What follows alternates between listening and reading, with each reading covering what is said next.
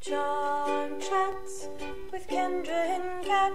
Just a couple of girls talk about this and that. Getting familiar with Blue and the charmed ones too. Charmed Chats. Welcome to Charmed Chats with Kendra. And get Mm. woo We are on episode 120, The Power of Two, which aired on May 12th, 1999. Yeah, this is uh, an interesting episode because, as the name suggests, it's mainly focusing on just two of the sisters. Mm-hmm. That is because Holly Marie Combs had to have an operation for uterine fibroids, which kind of sucks. Mm-hmm. But you know, better to get it taken care of. This is true. Yeah. So she mostly took the week off and Mhm. only had, I think, Three, two, yeah, three, two, three scenes? three scenes, Three scenes. three scenes, All of which were probably filmed. the same day. Yeah. Yeah. So because Piper isn't really in this episode, this is the first episode where no one gets frozen. Yeah, that's that's weird. Yeah. It's a little odd, but you deal like you don't really notice it very much that Mhm. no one gets like it's not a, a big deal. It's Yeah. just a thing that just doesn't happen, you know. Yeah. So once again, as per usual, we apologize if anyone is moving around upstairs. I don't think so because your, your roommates seem to be being very nice now. Well, one of them is not here. Yeah, one of them isn't here, and the other one is very, very considerate, and Mhm. I enjoy him immensely. Yes. he saw me pull out the hair dryer, Mm-hmm. or rather, he saw the hair dryer was still out when I left to go do something because I had to shower at a weird time and then immediately leave Yeah. because I was cheating on you with another podcast.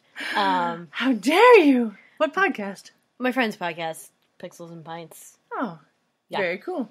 I was like, So, we might like- as well give them a shout out. Yeah, yeah, yeah. I, I gave I gave us a shout out on there. So Awesome. Yeah, but like I didn't want to go outside with wet hair, so I pulled out the hair dryer. And when I got back home, he's like, "Were you on a date?" I'm like, "What? What? Would, Why Well- would you think that? what?" It's like, "Oh, the hair dryer. You dried your hair." And I'm like, "Yeah, because it's cold out." You dried your hair Yes. because it's cold out, and you don't want your hair to freeze Mm-hmm. in the cold. That's true. Mm-hmm. Mm-hmm. But yeah, I was reporting on the John Hodgman ruling on hot dogs as sandwiches. What But- was his ruling? They are not. I get that ruling only because a bun is one piece of bread. Yes, even though it's hinged and you could have like a po' boy or a meatball sub, Mm-hmm. That would be considered a sandwich. His his idea is that because you would not normally cut a hot dog in half to share. All right. Well, it's one of his reasonings. Uh, that's a good reasoning, though. I enjoy that. Mhm. Yeah. But yes, Luke and Mel were arguing about, you know, is a hot dog a sandwich? And Luke's like, oh, it's totally a sandwich. And Luke's like, hot dog is not a sandwich. And if they weren't engaged, I'd worry they'd break up. so I mentioned John Hodgman because you did on the Judge John Hodgman podcast, and then I'm like, you know what, you know I, I'm not going to make you guys research this. I'll do the research and I'll come on the podcast and I'll let you know. nice. So I did, and apparently one of the people who's normally on the podcast and wasn't there that week tweeted about how his phone keeps trying to correct Hodgman to something else, and John Hodgman liked it, and he's like, I'm best friends with Hodgman, and I'm like. Bitch, when you spend four hours in a hot tub with him, you can talk to me. Yeah. Uh huh. Yeah. Shut up. Yeah. I have seen you already. Yes. All right, so we should get into the episode because there is going to be a lot of wiki tangenting in a short period of time before and after the opening credits, and I apologize for nothing. So we start Mm-hmm. with the exterior shot of Halliwell Manor. And we go inside. Piper is in a purple hoodie over a grayish purple shirt with a light gray skirt. It's kind of flowy, Mhm. and she's wheeling a suitcase. Phoebe is wearing jeans and a v-neck short sleeve top with a stripe pattern that follows the V of the shirt in shades of blue. So kind of chevrons. Kind of. Reverse chevron. Yeah, kind of. She is sitting cross-legged on a table in a meditation stance, fingers out and everything. Prue, coming out of the kitchen, is wearing a three-fourth sleeve gray top with a scoop neck and a very short black skirt. hmm Not quite mini, but very short. Yeah. And Prue and Piper are kind of, you know, running around the house, freaking out because Piper's really got to leave and she's almost late and she can't find all these things like her plane ticket. Yeah. And Phoebe, over on the table there, holds up various items. I think what was it? It was it was Uh, was there a, set of keys? Yeah, like a set like of a- keys, a lipstick, yeah. and finally the plane Piper's ticket. plane ticket. Yeah, And she gets a premonition off of the plane ticket of a plane taking off and Piper looking very annoyed. yes, And she's really excited that she she apparently, you know, forced this premonition to happen. And so she's like really, really happy as Prue snatches the plane ticket out of her hand and she's trying to explain like why this is exciting as Piper's like, dude, why the fuck did you have my plane ticket? yeah. She's like and and she chastises her for being on the furniture. Yeah. Like, why are you on the table? But yeah. So she tells him that she's been practicing try to call a premonition and it worked. And that's the good news. The bad news is that the premonition was Piper missing her plane, Yep. missing her flight to Honolulu. Where she's apparently going for some kind of Convention? convention. Yeah. And if she doesn't go there, her boss will fire her. Mm-hmm. Now, I don't know what kind of a convention a restaurant manager needs to go to in Honolulu. Honolulu. Yeah. I But, don't you know, you got to find some way to get Holly out of the episode. Yeah, and like I, I swear that somebody just had an affinity, like they wanted to bring in like something Hawaii, like they wanted her to come in with a lei because Yeah. like there, there was no reason to send her to Hawaii, Yeah. you know, other than the fact that it was A lot closer from California. yeah, but like they could have sent her to just about anywhere. Send her to Chicago. Send her to you know like anywhere else, but nope, Hawaii. Chicago would have been a good place for a restaurant manager. Mm-hmm. There could have been anything at McCormick Place. True. But you know, whatever. Apparently, Prue's job is also hanging by a thread. Mm-hmm. Due to all the demon hunting time off she's been taking. But we don't see Prue taking a whole lot of time off. It's mentioned a lot that she's just not going into Bucklands that day. Like, yeah, like it's never mentioned that Piper is not going into Quake. Like, I think a couple of times she tries to not go into Quake and gets pulled in anyway. Mhm. yeah, But with Prue, I know it's mentioned a lot where she's just like, "Yeah, I'm not going into work today." yeah. So I don't know. I guess. So Piper is continuing to freak out because she's just remembered a bunch of other stuff she hasn't done. Like, like her hair appointment, yeah, she hasn't canceled it because you know it's a bit difficult to have a hair appointment without the hair being at the appointment yeah, or the person attached to the hair. yeah. That is So, uh, yeah. quite quite difficult. Yeah, And I guess she picks up the vase that Phoebe put on the stairs. yeah, yeah. Which I thought was kind of funny. Yeah, but she's got shows, like, a whatever. she got a whole a whole list, little Mhm. list there. And Phoebe's trying to calm her down and says, "Oh yeah, I'll don't get worry, it done." I'll get it done. And Piper's like, "You will." and and, And Prue then says- Prue, Yeah, she's got time. Mm-hmm. Which you know that that one's gonna come back at her, you know. Uh-huh. And it wasn't exactly said in the contest It- anyway. It's it just like, wasn't. oh, oh, right, yeah, Yeah, she's you- got you time. probably- you probably have the time to do this. So would would you? Yeah, exactly. But she just left off the would, would you? you? Yeah. And then she says that they stopped Phoebe's premonitions before, so they can try to do that again. And Piper then realizes that Prue and Phoebe haven't really ever been alone together since they've been adults. Yeah. But Phoebe says that they don't need her as a buffer anymore They're because big they're big girls. girls. Yeah. And then there's this great scene Yes. where Prue and Piper just keep like circling around each other and turning around to tell Phoebe to do more stuff as they're heading toward the door. Yeah. It's real cute. It was cute. And I, I enjoyed the little moment where Piper asks what happens if they need the power of three, and Prue says then the power of two will just have to do. And Phoebe gives her like, ooh, yeah, yeah, good it's a good one. Yeah, it was a cute sister moment, and I really enjoyed it because like you could tell that they were having fun together in a nice way. Uh-huh. So they So- asked her to do a few more things. She goes, "Fine, I'll just add it to my list." Poking the list with her Mhm. finger. And then They, they, thank they, her and they leave. they didn't actually say anything, but I got the impression like Prue was gonna have to magic some red lights or something. yeah, probably.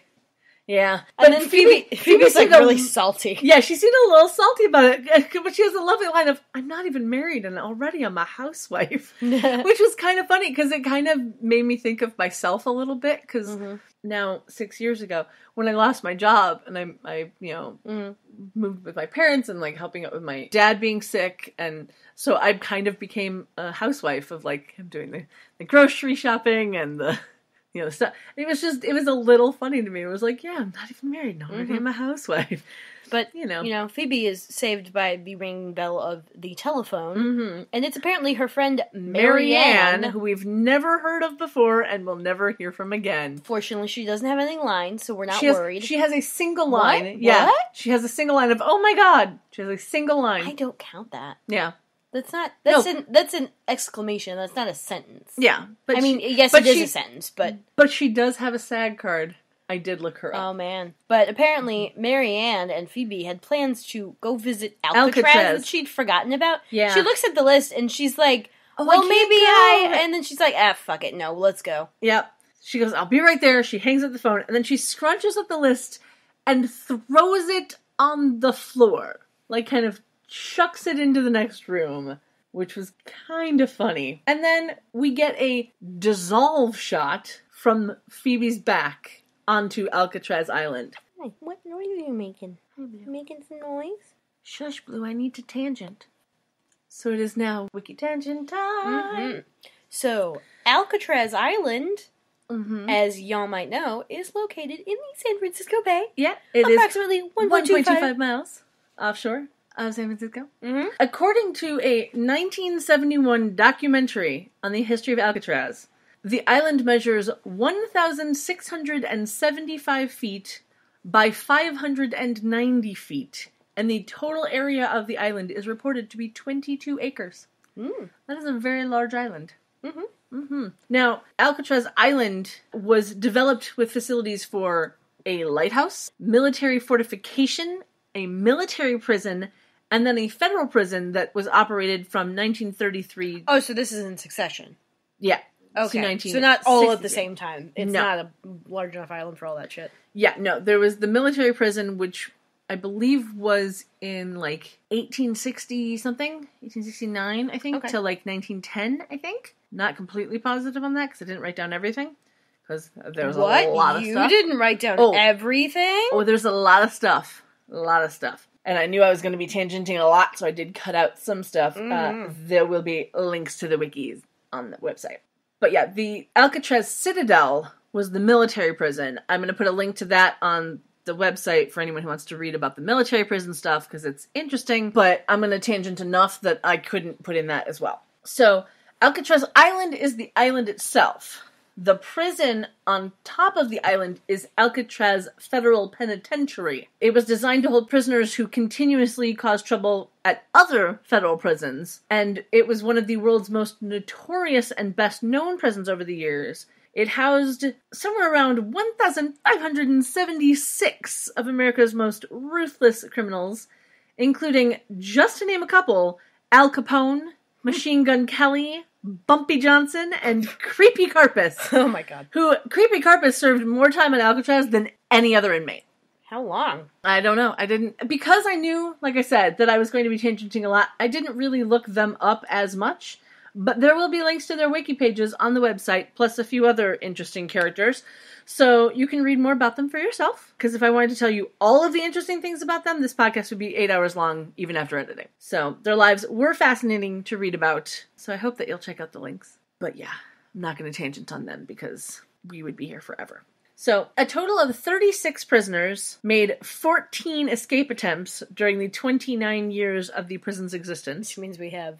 No, okay, no, that wouldn't make for repeat offenders. Never mind. The most notable of which were the violent escape attempt in May of 1946, known as the Battle of Alcatraz, and the arguably successful escape from Alcatraz from June of 1962 in one of the most intricate escapes ever devised. And Oh, that's, that's that's the one the MythBusters Yeah. tested out. yeah, back in 2003. Mm-hmm. They found something. Plausible. it was something like a raft made out of raincoats or Yeah. some shit. Absolutely. Again, the links to all of those wiki pages are on the website, so check them out. But yeah, Alcatraz closed on March twenty first, nineteen sixty three, because they had really high maintenance costs Mm-hmm. and a completely poor reputation. which is funny though because they actually had like really good food. They were really nice well, to all Aramark prisoners. probably wasn't running it then. Well, no, but well, oh no no no. Okay, so Aramark, for anyone wondering, is a food service company that does like catering for various institutions, including prisons and universities. Mm-hmm. So apparently they have five levels of catering service. Mm-hmm. The top level would be like diplomat shit, like foreign officials, like you know, if you're catering the fucking White House or something. Mhm. Then there would be like executive business thingies. I don't know what the third level is. The bottom level is prisons. The next level up is universities. Nice. And Yeah. so that's the food I got. Nice. Uh huh. Yep. Although the one day they brought in the kids from the culinary school learning to make sushi, that was a good day. Nice. But they weren't Aramark people, so that's why it was. Anyway, Alcatraz had single cells. They didn't have more than one person in a cell. Mm-hmm. What was their capacity? Did you write that down? 312. Okay, that's not large. It was either, well, it was either 312 or 322. But I want to say it was 312. I will say that 10 being a margin of error is fine for now. Yeah. Anyway, they had privacy. Each of the inmates had their own privacy because they had their own space. Mhm. They had good food. They were treated really well, actually. So, like, Well, because it was it was a prison for the high profilers. yeah, exactly. So like if if they didn't get good treatment, Mm-hmm. everyone would know. Whereas nowadays in the prison industrial complex, Yeah. pretty much no one gets good treatment. Very true. Although the prisons that are starting the dog training programs are my favorite. Yeah. Those are nice. Uh huh. Yeah, you'll wanna you'll wanna look up prison dog training because it's it's so cute. Basically, like inmates live with a dog that is from a high risk shelter, Mhm. and they take classes and they train it to get it ready to be adopted out. And That's cool. It's kind of like job training because you know they learn they learn a skill and they learn how to take care of something else, and it's really sweet. And it always makes me cry, and I'm tearing up a little bit right now just thinking about it Aww. because puppies. Yeah. So in 1972, Alcatraz became a national recreation area and received designation as a National Historic Landmark in 1986. Today, the island's facilities are managed by the National Park Service, hence the reason why her tour guide is wearing a park ranger Yeah, uniform that's what I when we figured. get there. Yeah. I've seen the same thing in the Hamilton documentary. I didn't watch it yet. Oh, It's on my DVR. it's great. I know. It's but on my like DVR. they they go to some of the historic houses and stuff, and there's always a park ranger showing them through the house Nice. when there's not a lady in costume. Nice. And it is part of the Golden Gate National Recreation Area. It is open to tours, which is kind of cool. Visitors can reach the island by ferry ride from Pier 33 near Fisherman's Wharf in San Francisco. Hornblower cruises and Events. Is that run by Horatio? No, I don't believe so. No. Hornblower Cruises and Events operates under the name of Alcatraz Cruises. They are the official ferry provider to and from the island. Because why wouldn't they be? Yeah, might as well keep your brand up. Yeah, absolutely. Alcatraz didn't just house criminals, it also housed the prison staff and their families. So at any given time, there were about 300 civilians living on Alcatraz, including both women and children, Wow. with all of these high profile criminals. But the primary living areas for families were building number 64. They had three apartment buildings, one large duplex, and four large wooden houses for senior officers.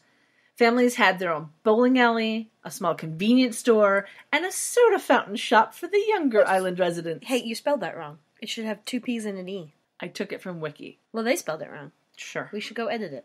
Okay, go for it. It's it's a soda fountain shop. That's a S H O P P E. Obviously. Anyway, families did most of their shopping on the mainland because the prison boat made 12 scheduled runs to the Van Ness Street Pier each day. The warden lived in a large house adjacent to the cell house and actually used inmates with good conduct records for cleaning and cooking, which is just I don't feel good about hilarious. that. Yeah. That mm, oh no, that's Yep. that's sketchy. but it worked. It might have worked, but that's super fucking sketchy. Yep. All right, we ready for a moment of show before another tangent? I hope so. Okay, because it's going to be the shortest amount of show before another tangent. We see in Alcatraz a woman wearing a black robe type dress that has a thick red trim at the wrists with big black buttons, thick gold trim around the bottom and the collar that has like a squared spiral pattern Mhm. with thin red trim on that, and what looks like a corset type belt around the middle.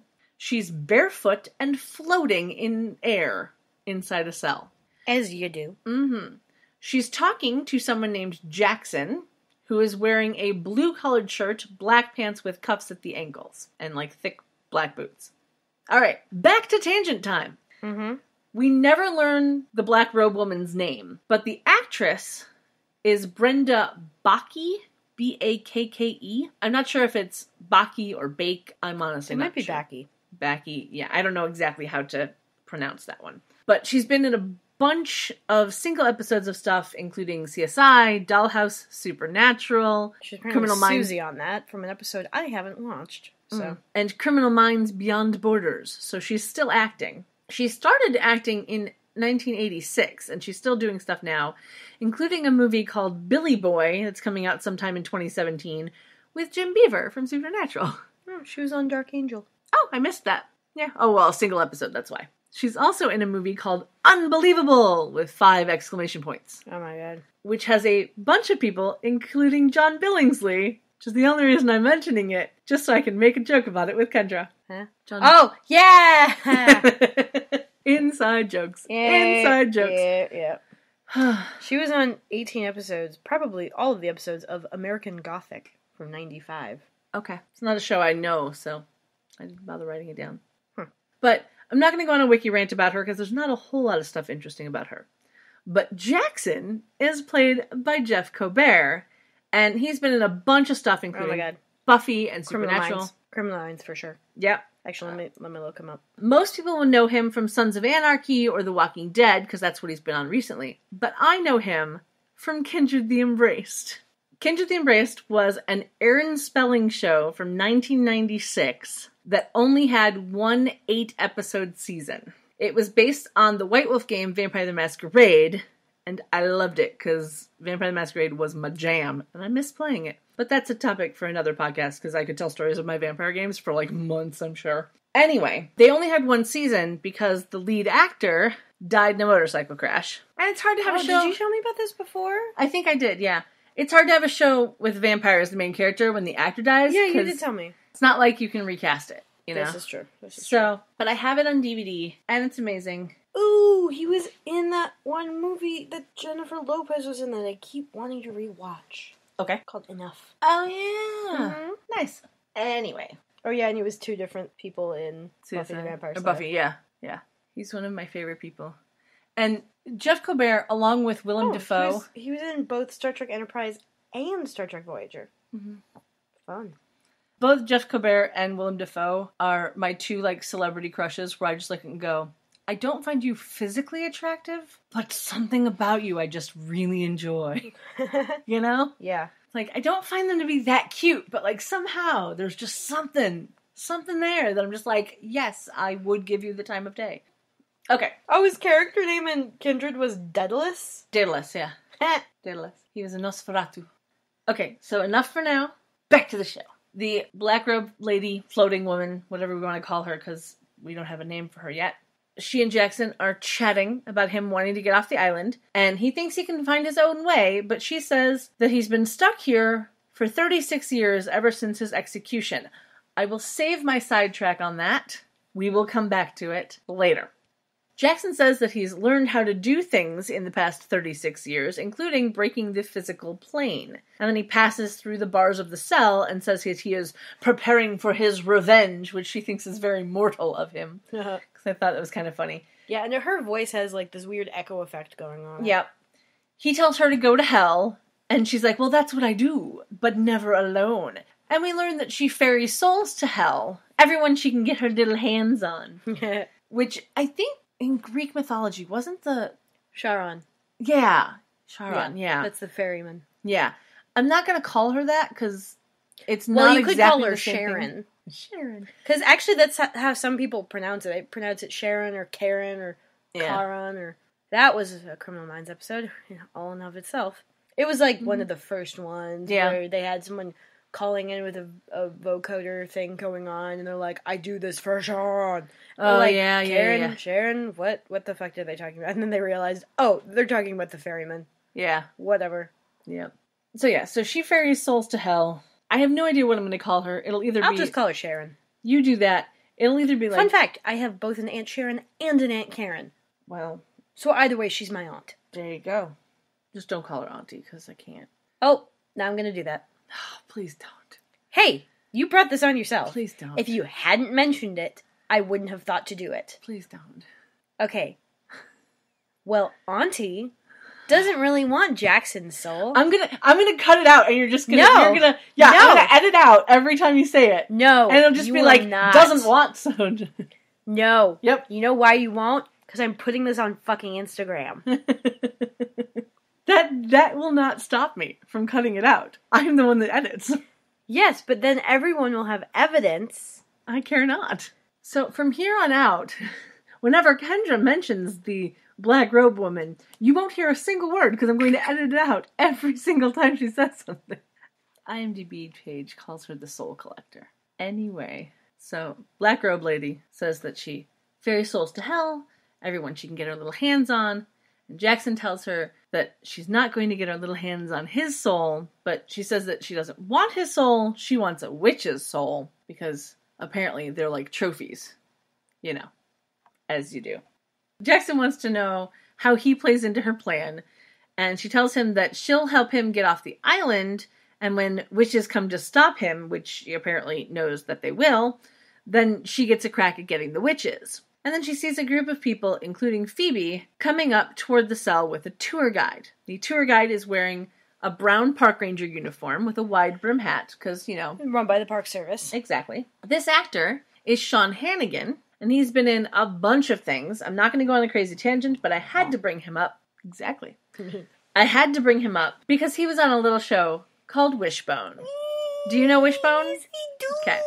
If you don't, I feel bad for you. It was an awesome show where Wishbone, which is the most adorable Jack Russell Terrier. Outside of Frasier. Well, I didn't watch that show, but Neither did I, but I know there was a Jack Russell Terrier.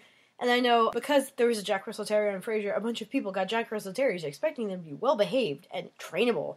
And they You were quickly disappointed. yeah, no. No, absolutely not. Only Hollywood Jack Russells are Well, yeah, very, very have, easily they trained. have the training. Yeah, exactly. And more uh, importantly, the trainers have the training. Yes. So Wishbone puts himself into the roles of classic book characters and goes on adventures.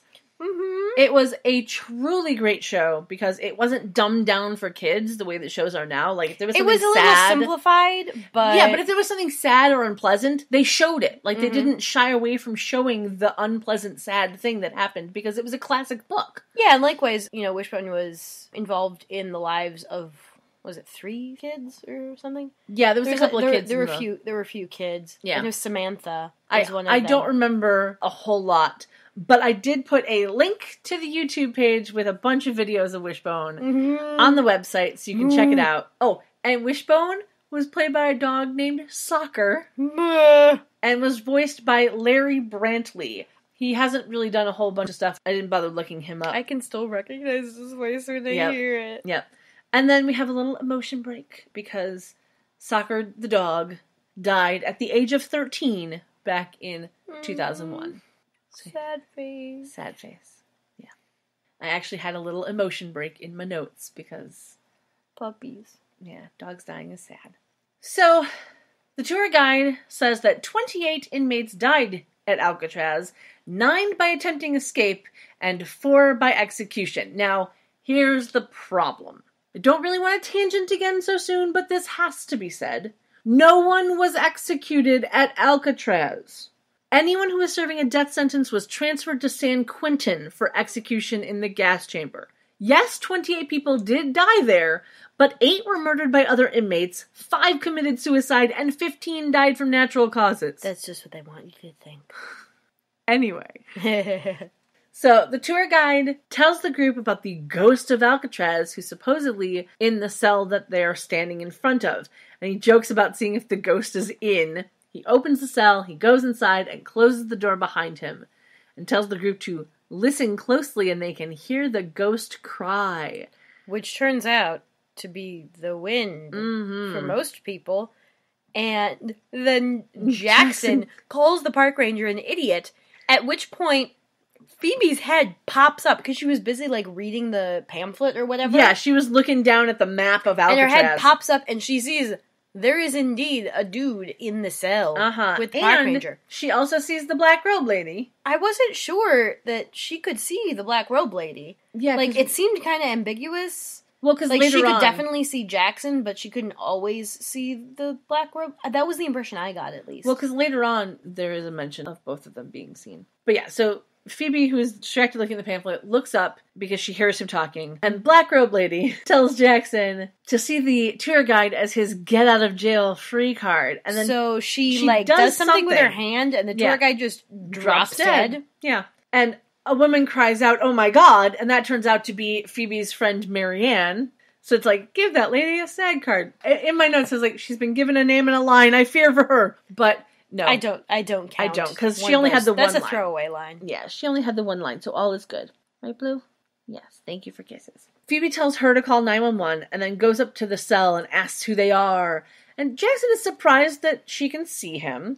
Black Robe Lady tells him to forget about her and get into the dead guy, which is, you know, So he just I'm paraphrasing, but it was funny. like Phoebe realizes what that means, and she kind of stops, and she's like, "Oh, you better No, don't, don't. not." But, so she's looking like a crazy person to all the people around her because Oh, yeah. she's yelling at Jackson not to do it.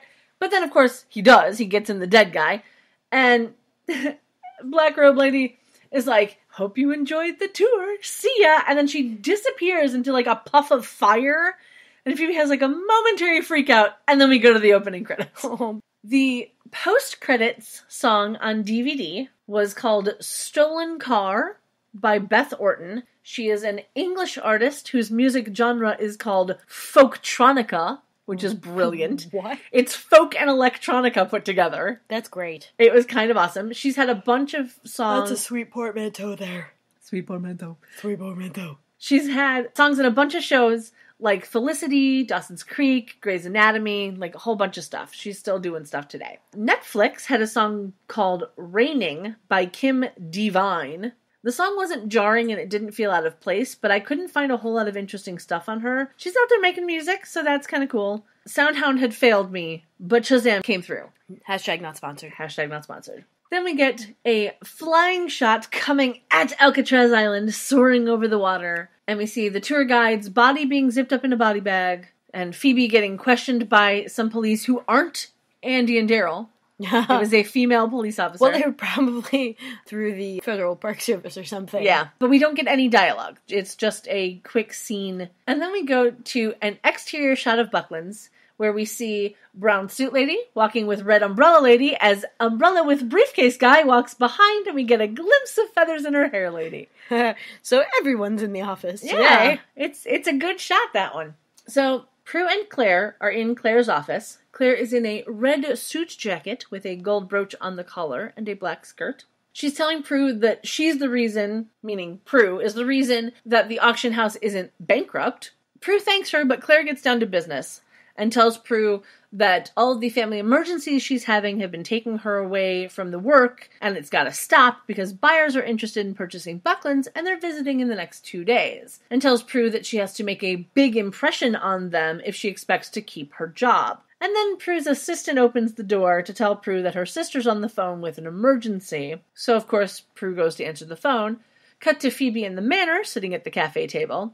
Phoebe asks her about the ghost of Alcatraz, and Prue is annoyed because she does not deem this as an emergency. Kind of rightfully so, you know. Phoebe tells Prue that she thinks that the ghost really exists, and Prue asks if Phoebe saw the ghost, and Phoebe saw like, no, of course not. How could I? Because she was supposed to get errands done Yeah. instead of hanging out at Alcatraz. Which she, of course, didn't do. hmm Prue asks why she thinks the ghost is real, and Phoebe says that her friend Marianne saw the ghosts, and well, she thinks she may have seen two ghosts, but one may have been something else, which is why Oh, okay. I said that Phoebe saw both of them. Prue starts to be annoyed with her again, and Phoebe tells her that witches aren't the only people who can see ghosts, you know. She goes on to say something about the research that she's done, and we see Claire impatiently waiting in the doorway for Prue.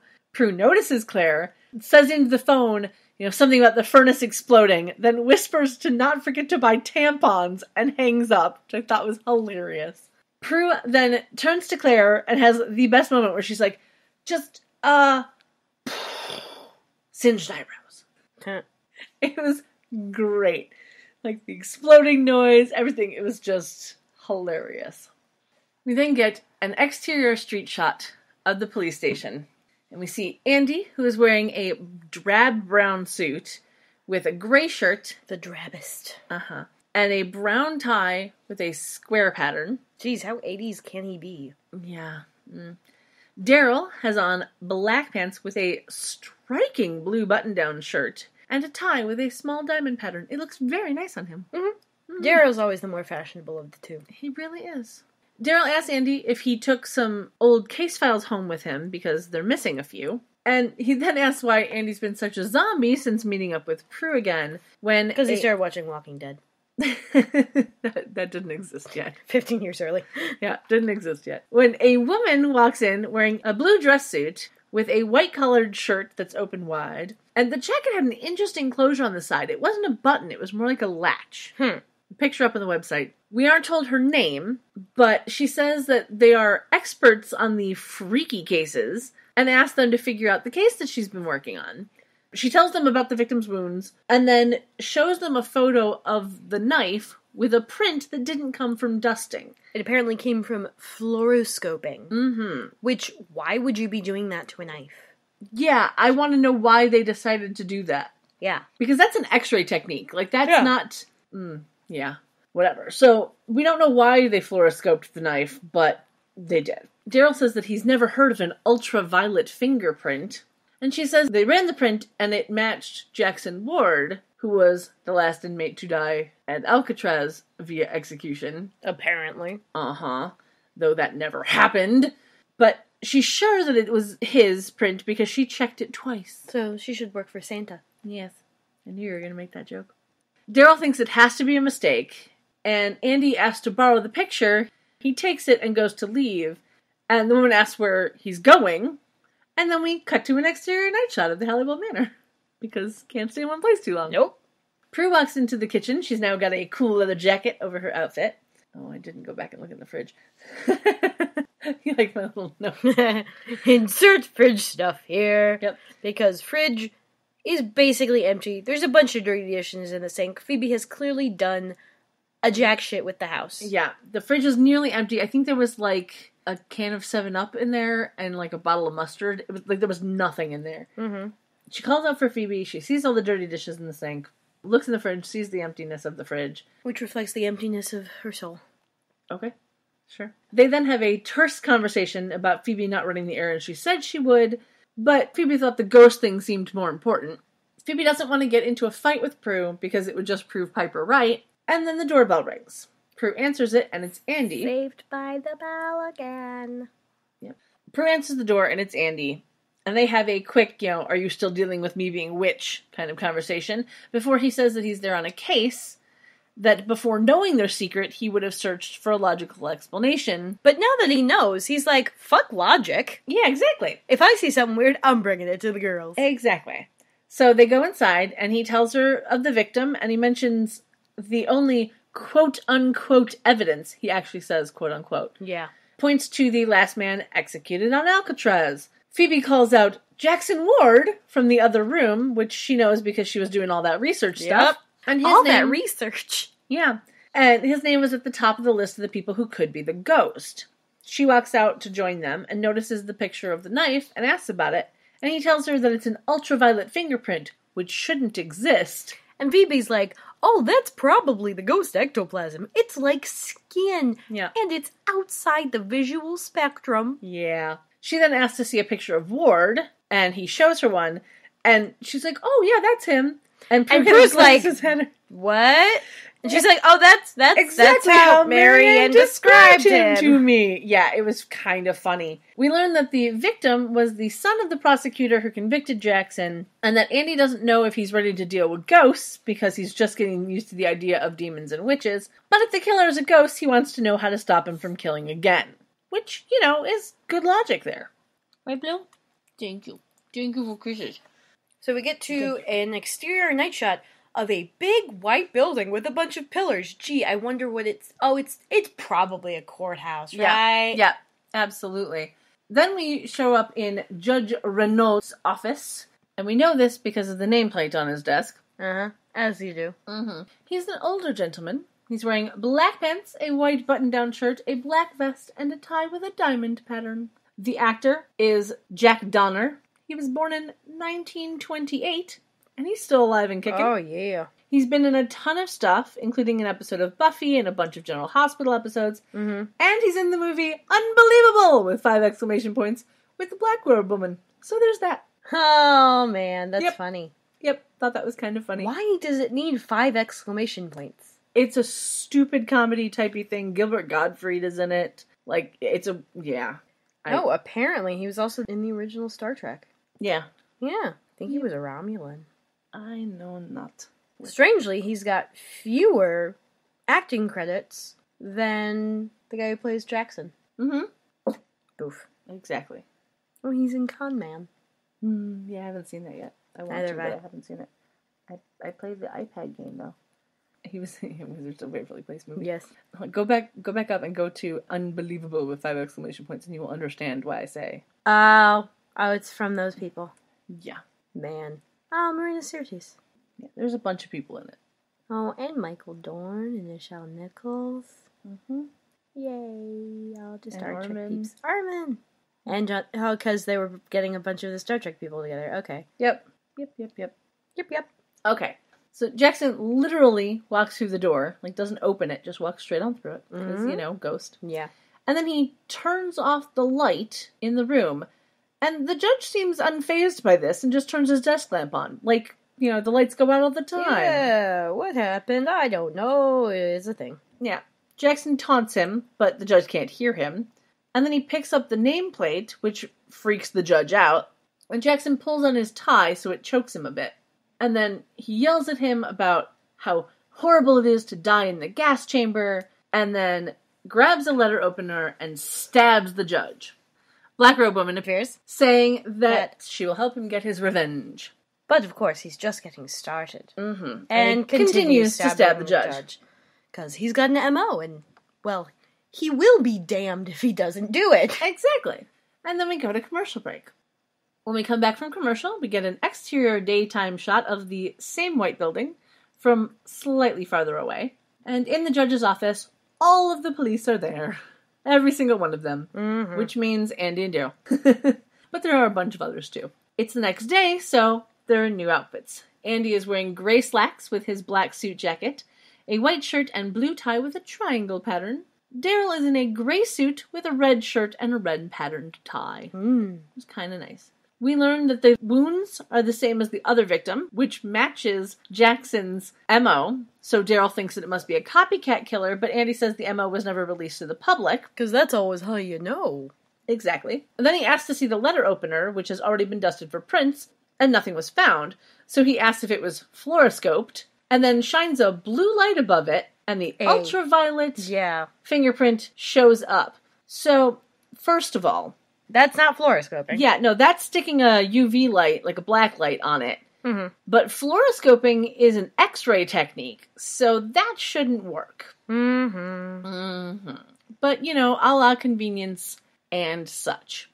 Andy then bets Daryl 10 bucks that it matches Jackson Ward, and Daryl reminds him that Jackson Ward is dead and has been for some time. But Andy says someone's going around killing people, or at least the descendants of people, who put Jackson Ward away, and he grabs his coat and bag and starts to leave. Daryl, of course, asks where he's going, but Andy tells Daryl to have someone put together a list of potential victims, and he leaves. Daryl tries calling after him, but, you know, Yeah. he's not having it. Nope. Cut over to an exterior shot of Buckland's. It's a lower, wider shot than we normally get. An umbrella briefcase guy is walking by. Yeah. Inside, We Claire's have office. some. We have some Asian clients Uh-huh. who are waiting and looking at their watches because, oh yeah, y'all know Prue's late. yeah, And Claire is trying to stall for time, because saying. Yeah. saying Prue has a a lot, of family, emergencies. Yeah. Prue enters the room apologizing. She is now wearing a white, sleeveless turtleneck shirt that's just Uh-huh. a little too short. and no bra, Yeah. And khaki pants that look vaguely suede. Mm, khaki pants. Yes, khaki pants.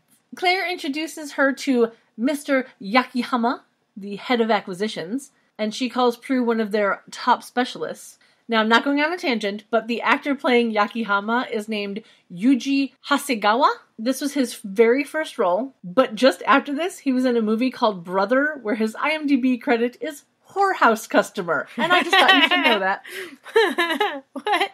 I just thought it was Auction funny. house, auction house client to whorehouse customer. Yeah, Oh, how the mighty have fallen? yeah, I just thought it was very funny, and I thought you should know it.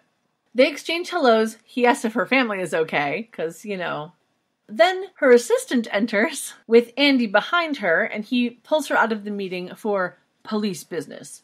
They walk outside the room, and she immediately asks if he's trying to get her fired. And he tells her that Jackson Ward is killed again, and she's annoyed, but she knows that she has to help. So she walks back into the room, and then we jump in time via quick exterior shot of the second floor of the Halliwell Manor. Phoebe is in the attic, looking through the Book of Shadows. She is now wearing a cropped orange zip up hoodie with lovely front pockets and black pants.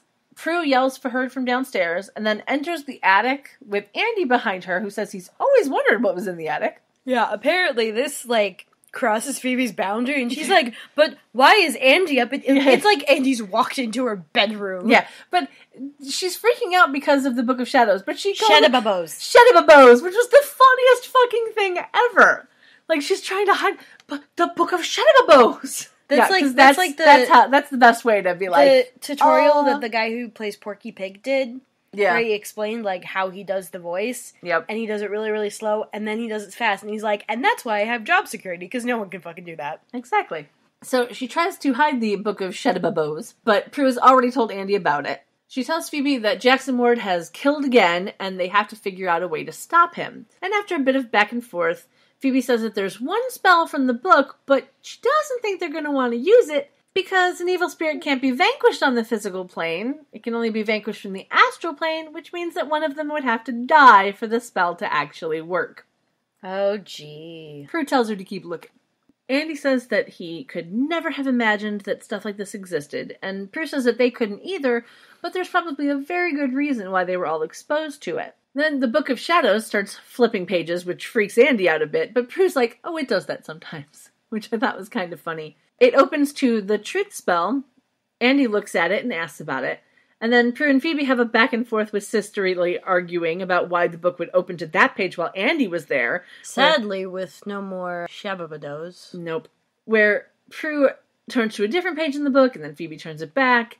And then we jump to a little while later as Prue and Andy are going down the stairs, and they're arguing because now he knows that she used that spell on him. And he wants to know if his reaction to her being a witch was the reason they stopped seeing each other, which, after a bit of back and forth, Prue says that it was.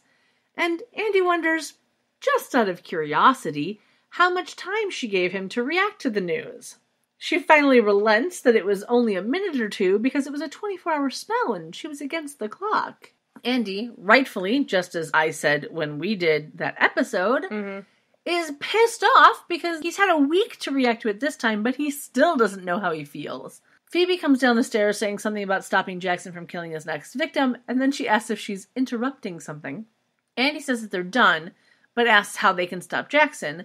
Phoebe, pouting a bit, says, I have a power too, you know, which was kind of funny. Pay attention to me. Uh huh. Then we get an exterior night street shot of the police station. Andy walks into the evidence storage warehouse. He has a tan trench coat over his suit now. So he's clearly ready to flash someone. yeah. He asks the desk officer for the murder weapon for case R 13658. Gets the item Yes. and leaves, and the desk officer immediately picks up the phone to call someone and says something about you wanted to know if Trudeau showed up. Yeah. He Oh well, he did. Yeah, he just left. And then we cut to the office. So now he has what is it? The letter opener, right? That's the the weapon. Yeah, mm, he's got the letter no, opener. no, now. I, I thought he no, I thought he had a knife or something. No, the knife was the first weapon. Letter opener was the second Okay. because he's getting the second the second okay. weapon. I I don't know why in remembering this I thought it was something from the original case. No. So then we cut to the office. Andy asks Joe for the list of potential victims, which is a lot of names, Oh yeah. and takes what he's got so far. He goes to leave, and Daryl tries to get him to stay because they're partners. Andy says that he knows that, but he needs to do this alone right now. Andy leaves, and a man wearing a black suit, white shirt, and blue tie, standing next to a man in a brownish gray suit, white shirt, and diagonal striped tie, walk in. So, couple of suits. Uh huh. The black suit dude is Inspector Rodriguez, and brownish gray suit is Inspector Anderson. And they're from Internal Affairs. They want to talk to Daryl about Andy. Anderson is played by Don Brunner. He's been in a bunch of stuff, but hasn't done anything in the past decade. He was born in Oakley, Illinois, which is somewhere in the middle of the state, northeast of Springfield. That's about the most interesting thing that I cared about. Rodriguez, however, is played by Carlos Gomez, who has done a ton of stuff. He's been in fucking everything. Yep, including a stint as a paramedic on ER. He was Madam- almost certainly on Criminal Minds. Possibly. Right now he's on Madam Secretary, but I know him from a little show called The Glades, which was canceled on a cliffhanger, and I'm still salty about it. Oh, it. that was the one set in Florida, right? Yep. Still salty about the canceling of that show. Much like the water. Yes, indeed. So then we cut to the car where Andy gets in and Prue and Phoebe are waiting for him. He hands Phoebe the letter opener and wonders how her power works. She says that she's been practicing calling her power, and if the psychic energy is strong enough, she should be able to see a future event. Should, Should. being the operative word. Yeah, because it doesn't always work, but as she holds the letter opener, she has a premonition where she not only sees an old woman's death, but she also feels the pain and terror she was feeling. Ugh, so, yeah, so that's some strong psychic juju. Uh huh. Andy hands her some pictures and asks if anyone looks familiar. She kind of flips through them and picks one out, and this is apparently a woman named Iris Biederman, a very old woman, who was the foreperson on the jury that convicted Jackson. Mm-hmm. I find it very interesting that they basically used her headshot or something, or like a photo they took of her that day, like when, when she was on set. Yeah. because I'm assuming it was supposed to be like her driver's license photo or something. I mean, if it was part of the old case files, I don't know why they would No, necessarily if it was- have an updated photo. Yeah, no, but that's what I'm saying is I think that it was possibly Okay. supposed to be like her driver's license photo or something. Okay. Because it's the only thing that makes sense as to why it was an old woman. Which lady that old probably doesn't have a valid driver's license anymore. Not necessarily. What's the senior discount? Sixty-five. I know And after someone that, you need testing every year, every I year, I think. But I know someone who was 86 and still driving. Oh yeah, my grandma was driving up until she was ninety-one, and we're like, "Sweetie, you need to stop." and we that was the year we moved her into the nursing home. Yeah. Then we go to an exterior night shot of a very large house on a corner. And my very first thought was, that's a good looking house for an old lady. Oh yeah. Well, you know, jury four people make super moolah, right? yeah, that's not how that works, but alright. We see the woman from Phoebe's premonition. She is wearing a green shirt with a subtle flower pattern on it, and what looks like a light blue terry cloth sweater. Slightly odd. Jackson is about to stab her when Andy kicks the door open. And sees a chef's knife floating in the air. Mm-hmm. Phoebe kicks the knife out of Jackson's hand. Oh, and Prue has added a white jacket to her outfit, and Phoebe has added a tan leather jacket to hers. Mm-hmm. You know, gotta keep up with the outfits. Jackson recognizes Phoebe, which makes Prue question her, Yeah. which is kind of funny. Like, do you two know each other? It was a cute Yeah. little moment. But she brushes it off, and Andy asks where Jackson is. Prue points him out, but Andy can't see him. And Andy's like holding his gun at the air like that's gonna do anything. Like, Yeah. What whatever. Like, where'd he go? I want to shoot him. It's, Yeah. you know, Andy, cop, gun. Exactly. Huh. Jackson says that they can't keep saving her forever, or the others, or themselves. And then he leaves through the wall while laughing, and we go to commercial break. When we come back from commercial, we now are in an exterior night shot of the Halliwell Manor. Prue and Phoebe walk through the front door, and Prue is upset because Phoebe lied to her, and she had to hear about it from a ghost. mm-hmm. And she doesn't understand why she couldn't just tell her the truth. And you get some spectacular visible nip through this sweater at this oh, point. oh yeah, it's quite nice. And Phoebe says that she thought she'd save herself the drama. And they go back and forth a bit about why Prue is really mad at Phoebe. And it finally comes out after Phoebe brings up the conversation that had happened as Piper was leaving that Prue is annoyed because Phoebe doesn't have a real job. And that's why Phoebe lied to her. And then the phone rings, and it's Piper calling from Hawaii. Aw. Mm-hmm. And Phoebe's the only one who talks to her and asks her how she's doing. Piper apparently hasn't stopped working since she got there, which is funny because we see her sitting in like one of those wicker wingback chairs. Yep. And she's got a lei on. Yep. Her hair is down. Mhm. She's wearing a white shirt that has sleeves to her elbows and jeans. Is Because that her normal work shirt? I think it might be. Yeah. Yeah, but jeans instead of black pants. Mm-hmm. Now, I'm not going to tangent, but did you know there's over eight different methods to making a lei? I didn't, but it doesn't surprise me. Yeah. I put a link to the wiki page for it on the website so you can read about it. So, when Piper says that she hasn't stopped working since she got off the plane, Phoebe is just like, sure, rub it in, which was a very funny line. It was kind of under her breath too, so Piper doesn't really register it. Yeah, it was a cute line in that moment. Mhm. Piper was just calling to check in on them because she wanted to make sure they weren't at each other's throats. Yeah. And they exchange I love yous and goodbyes, and then they hang up. And as we get a last view of Piper, she's grabbing a drink from the table that looks like a coconut carved into the shape of a little person. And she she picks it up and she goes, mmm. yeah, she was like she made the cutest face of like, I get a coconut drink, la la la We la need a picture of that up on the website. Oh yeah, there will be pictures on the website. Mhm. Then we go back to the girls at the house, and Prue asked Phoebe. Why didn't you tell her about Jackson? And Phoebe Phoebe's said like, there "I didn't no wanna worry reason. her." Yeah, there was no reason to worry her because How's she she can't gonna do get back here? Like, Yeah. Prue realizes that they have some issues to deal with that aren't going to be resolved overnight, so they need to figure out a way to stop Jackson before he hurts anyone else. Phoebe agrees, and Prue asks if they just reached a compromise. so which- Phoebe rolls her eyes. yeah, it was. They got. She got a good eye roll. It was quite nice. Cut to an exterior night shot of the police station. Uh huh. Andy and little old four lady Iris Peterman are there. Yep. Andy says that they're putting her up in a hotel under police protection until they catch whoever's trying to hurt her. And it sounds very official that he's like being all like, this Mhm. is normal. And Iris looks at him and she's like, I'm not crazy. You saw it too, right? Yeah. And he kind of like lowers the voice and is like, Yes, I did, but let's keep it our little secret for Yeah. now. Which, yeah, that's the great thing to tell an old lady. Hey, that floating knife that was trying to kill you, just our little secret. Yeah, totally. But she nods and walks away as Daryl walks in and asks who she was, and Andy tells him that she got attacked. And Daryl starts questioning him as he sees the sheet of paper with her information on it on the desk that Andy tried to hide as he walked up. Mm-hmm. Andy, of course, tries to deflect, and after a bit of runaround, Andy finally learns that Internal Affairs is after him.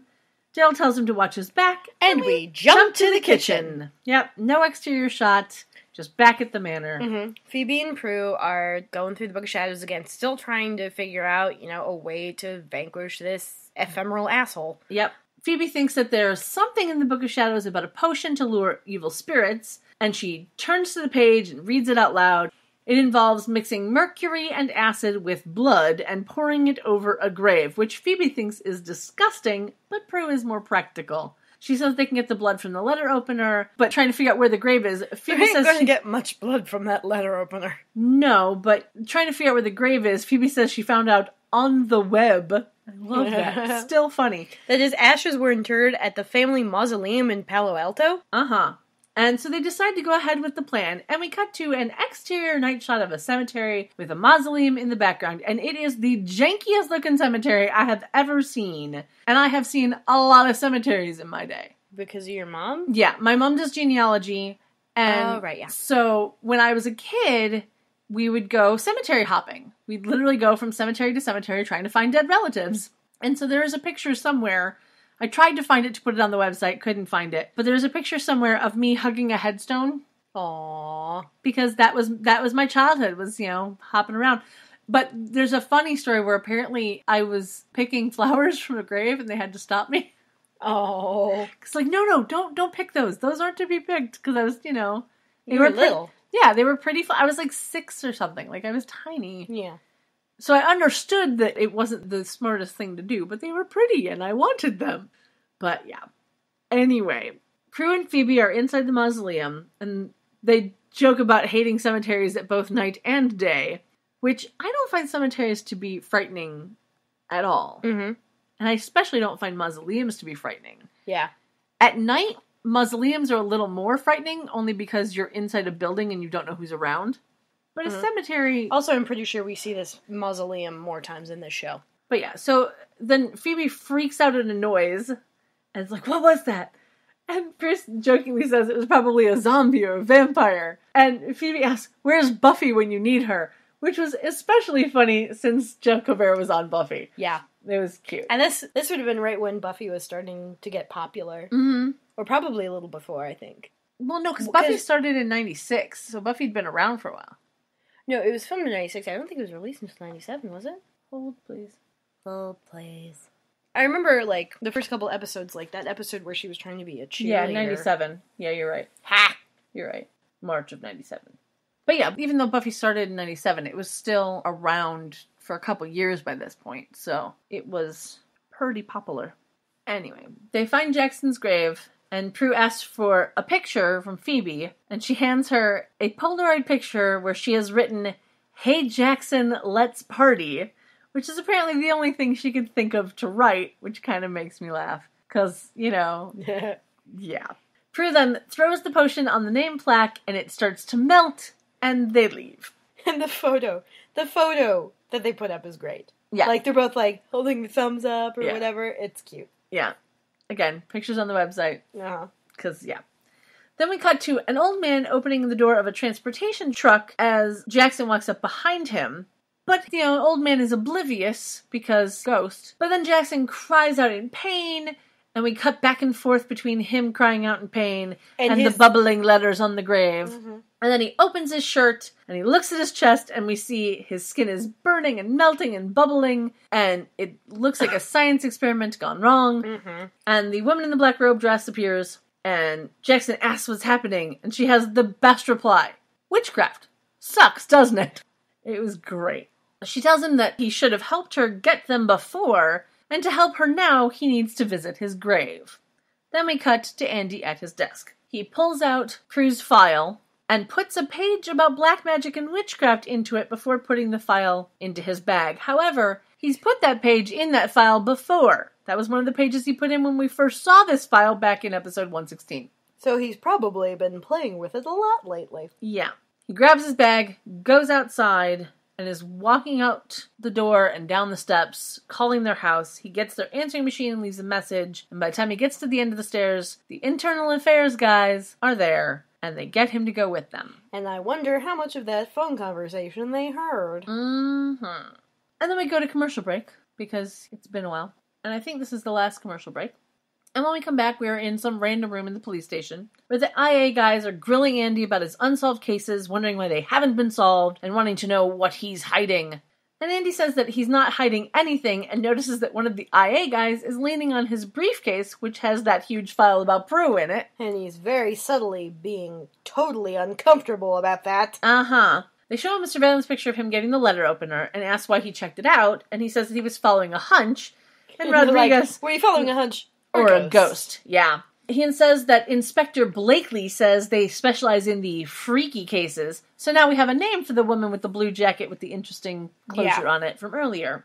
Inspector Rodriguez says that Andy's a good cop, and we learn that until last year he was headed for captain, but now he has a bunch of weird unsolved cases, so apparently captain is no longer in the cards. Which, you know, that's not how things work, but okay. He wants to know if Andy is covering for someone like Daryl, but Andy gets defensive, and then he stands up and is nearly yelling at them that if they don't believe him, they can take his badge and gun and charge him. And then tells him to drop dead. Yeah. Because he's a teenage girl. Yeah. And, then And grabs his bag and storms, out, of the room, room. because he's a teenage girl. Yeah. Yeah. Then we cut to an exterior daytime shot of the Halliwell Manor, and we see Phoebe and Prue in the kitchen. Phoebe is in black pinstripe pants and a short sleeved teal shirt with no bra, because we can see her nipples. Mm-hmm. Prue is wearing jeans, and how do I explain this shirt? It's a gray hoodie that buttons at the neck, the boobs, and the stomach. That's it. Three buttons. It shows her belly button, so we know she's not wearing a bra or any other shirt underneath it, even though she probably should. But at least she's not wearing that shirt to work, Mm-hmm. so that's good. But it only had three buttons, and you can completely see her skin underneath it. Yep. Yeah. In the kitchen, Prue's making a potion that will make the heart stop immediately. Phoebe asks where she learned it, and Prue says it was in the Book of Shadows.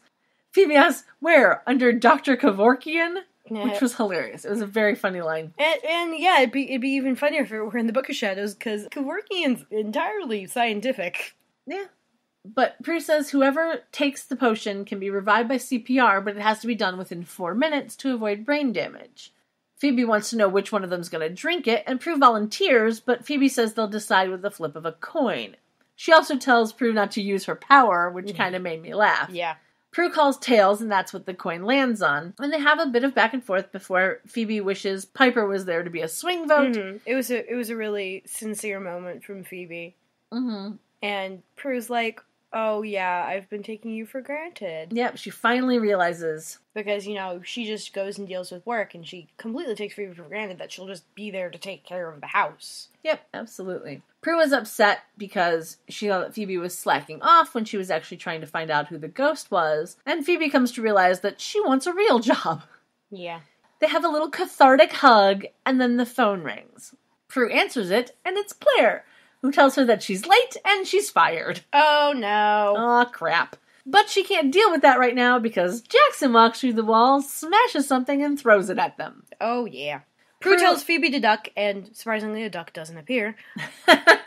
that was Then- the other episode. Then she drinks the cocktail while Phoebe attempts to fight Jackson. Uh huh. They did this very well choreographically. Like they didn't have Phoebe touching Jackson; she was just grabbing whatever he was holding. Yep. It and was, it was of- nicely choreographed. And of course, yeah. the consequence of him being an ephemeral asshole, he can, you know, let go of the shit he's holding and grab something else and knock Phoebe over the head, which is what he does. Yep, he knocks And- her out. She and she collapses to the floor. and then Prue collapses to the floor. Yep. Jackson then finds a metal cake server. From the hutch next to the kitchen table. Yeah, and Prue's spirit floats out of her body. But it's kind of like tethered to her body. It's just kind of. Yeah. She, she kind of looks like a genie. yeah, a little, Yeah, with A like little the, the smoky tail. a little bit. And then she starts saying the spell to vanquish him, which is ashes to ashes, spirit to spirit, take his soul, banish this evil. Not a rhyme at all in No. there. No. Not at all. Jackson starts screaming. And we cut to the door where Andy is opening it and calling for Prue. Yeah. And just by chance, he happens to see because where Phoebe collapsed, she's in that little hallway from the dining room into the kitchen, so her like head and her arm is visible from the front door. Yep. He sees it and runs, runs, on over. in. Yeah, runs over to her, checks for a pulse, seeing that she still has a pulse, he kind of just leaves her there. Prue then says the spell for the second time, and Jackson starts fading away, still screaming. Mhm. And then Andy goes into the kitchen and sees Prue on the floor, and he starts giving her CPR, and she's trying to stop him because not yet. He doesn't hear her, of course. And Jackson seems excited because Prue has stopped saying the spell. And he's like, "Oh, all I of a get to- sudden better. I I get to kill a cop now. Yeah. he's super stoked. Yeah. He starts to fling the cake server at Andy. Prue yells out, Watch out! And this time he somehow seems to hear her. Andy looks behind him, he grabs a towel and then grabs the cake Like server. wraps it around the cake server and pulls it out of Jackson's grip because well he can't see Jackson. He can certainly see, See, the weapon. Yeah. Yeah, but the funny part is like there's no way that he would have had enough time to turn around, then turn back, grab the towel from the table, and then turn around again to grab the cake server before Yeah. it hit him. Yeah. It was totally a la convenience. Uh-huh. but whatever.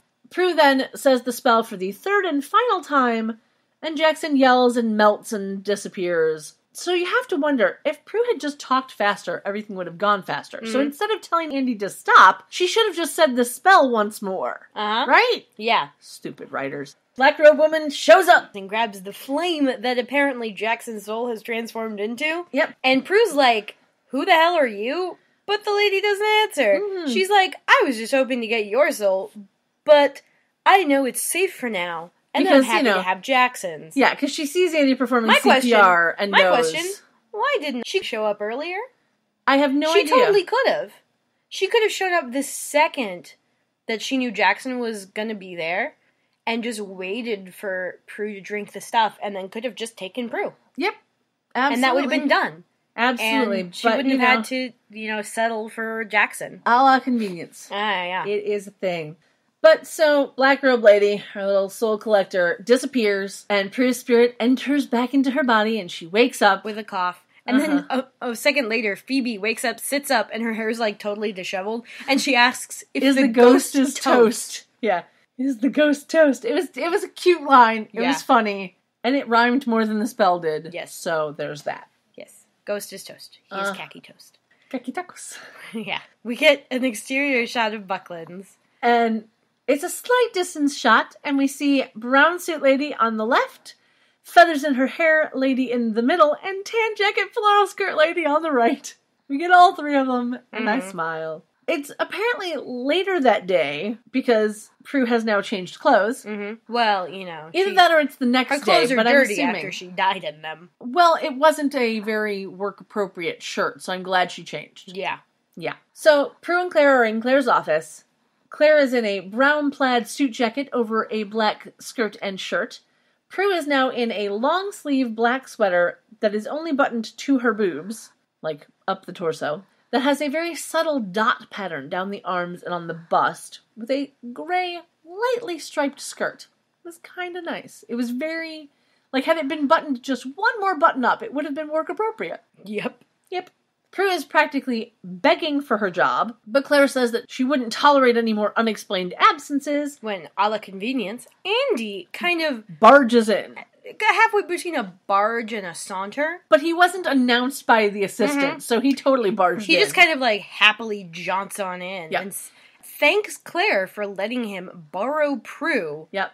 And Claire's like, "What is this?" Yeah. And he says he makes up some story about an Asian gang smuggling exotic jewelry and antiques, and Prue helps them set up a sting to bust the operation. Yeah. And Claire's like, "Oh, oh well, Prue Prue, never never, mentioned mentioned that." that." And Andy's like, oh, well, she couldn't compromise her cover, which Yeah. was kind of funny. And then he goes, Well, you can always call my superior, Inspector Morris, to file a reimbursement claim, which was the best way to do that. Because, like, Uh-huh. yes, call this dude. Yeah, he's above me in rank. Totally. "Totally." Yeah, but Claire's And he like, will bust your rank. Yeah. But Claire says that it won't be necessary. So it was some good bullshitting from Andy, Mhm. who happens to be wearing a black suit with a dark teal shirt and tie with a weird oval pattern on it.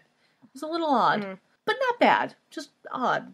So Andy tells Prue that they need to talk when she's done, and Prue says she's more than done.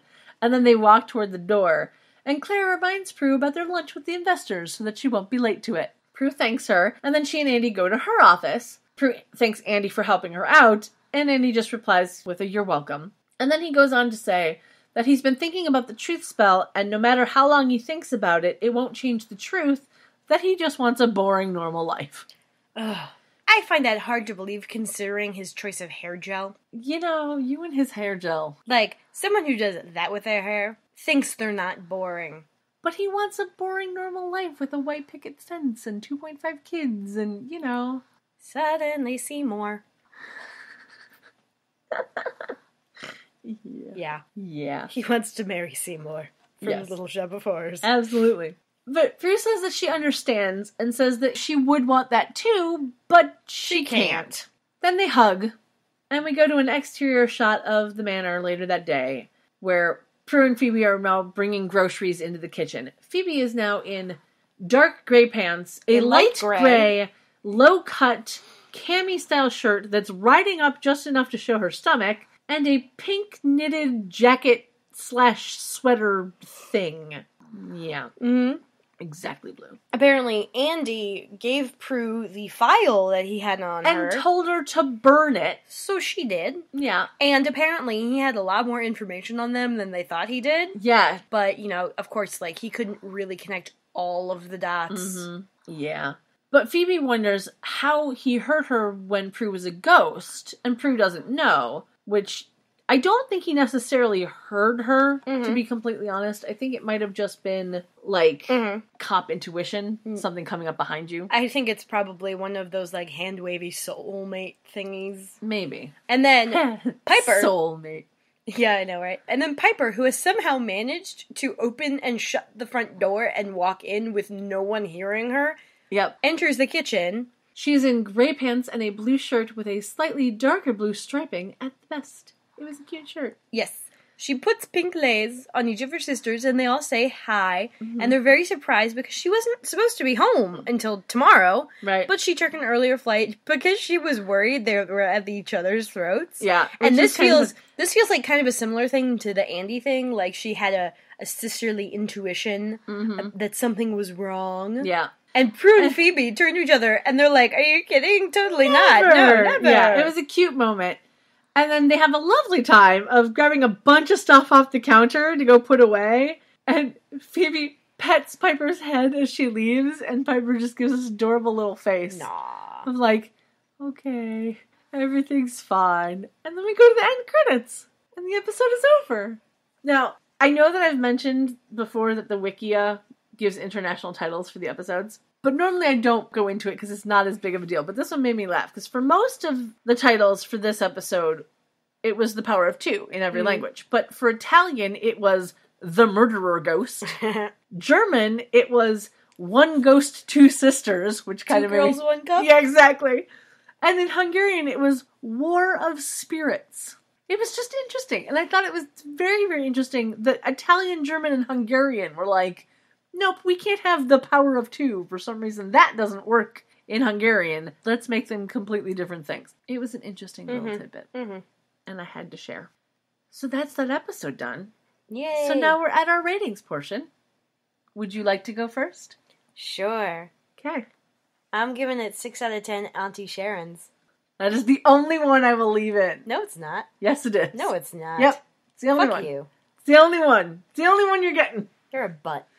I was originally gonna make it ephemeral assholes. I'm like, I think Auntie Sharon would be better. Cause jokes. Yes. I'm giving it 6 out of 10 settling soul collectors. hmm Because she settled for Jackson's soul. Well, you know, it's like um, debt collectors when they have to just pay off your debt. They're like, you actually owe like 15 grand, but I'll settle for less. Mm-hmm. Or whatever. So I gave this one a 6 because it got an extra point because of Jeff Kober. It would have been a 5 for me. Mostly because no one was executed at Alcatraz, and I'm a little mad about it. But uh, this one just wasn't one of my favorite episodes. Probably because I really like Piper, and since Piper wasn't in it very much, you know, yeah. that's probably my reasoning. But it wasn't a horrible episode because it had Jeff Kober in it. Yeah. So there's that. But now we're on to the outfits. What was your favorite outfit of the episode? I gotta say, just Piper sitting in that chair in Hawaii with the little coconut. Like, that entire shot. I just love that. That's. But that's not an outfit because that's I'm just calling you know- it. She had a lei on. She had her shirt. Yeah, but that's just a white shirt and a pair of jeans. But Like, she had a lei on, and she was on that chair, and she had a coconut. okay, then what would be your second favorite? Sleeveless turtleneck. The white sleeveless turtleneck. Yeah. All right. No bra. It's weird. Okay. For me, I liked the outfit that Piper comes home in because I liked that shirt. With Phoebe, I like the teal shirt outfit. And for Prue, I liked every single one of her outfits in this episode. But I think I'm going to go for the three button shirt. If she had worn it to the office, I wouldn't have liked it as much. Mm-hmm. The fact that she only wears it at home in the kitchen, that's why I like that one a lot. Yeah. Yeah.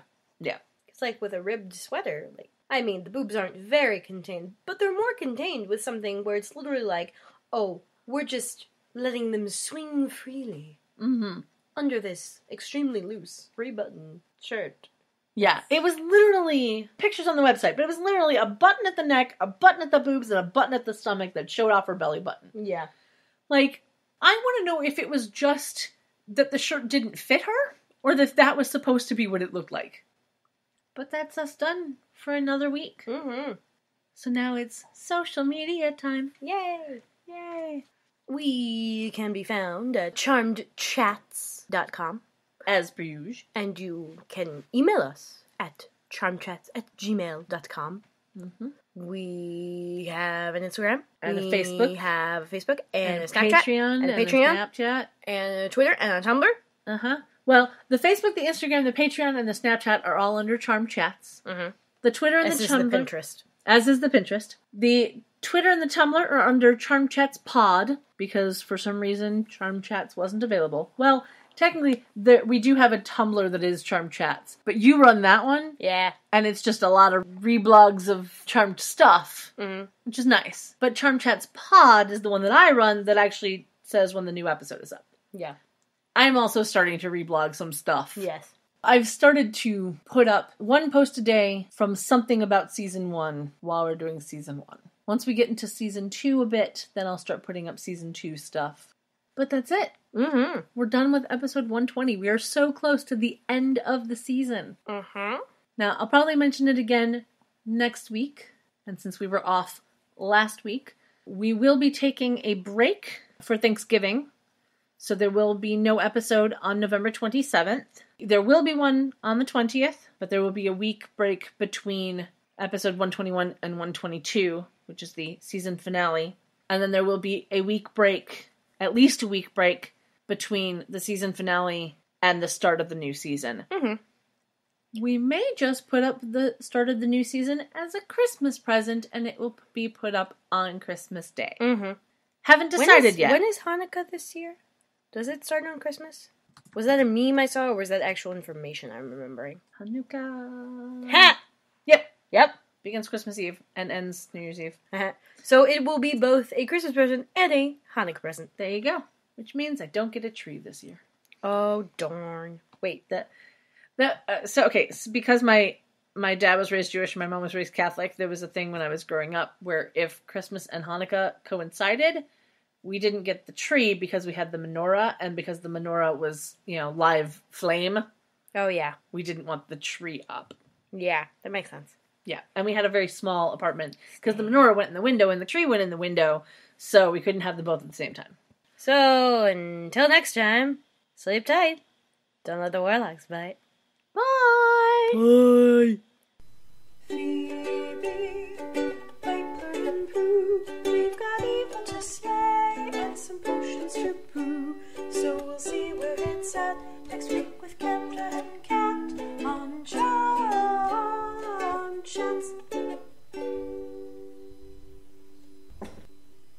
Hashtag Auntie Sharon 2016. Nope.